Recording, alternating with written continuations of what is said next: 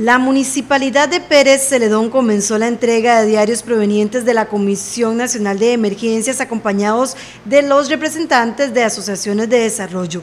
A la fecha se entregaron ya 290 bonos alimenticios. Las entregas han sido bastante, bastante efectivas, ha habido muy buena coordinación por parte de las asociaciones de desarrollo, ¿verdad? que fueron quienes inicialmente presentaron las listas de las personas con las diferentes necesidades, ¿verdad? con las afectaciones por el COVID.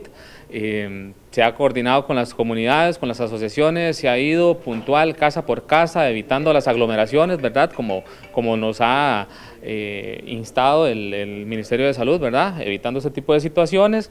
Eh, ya hemos ido a algunas, como unas 15, 16 aproximadamente eh, comunidades.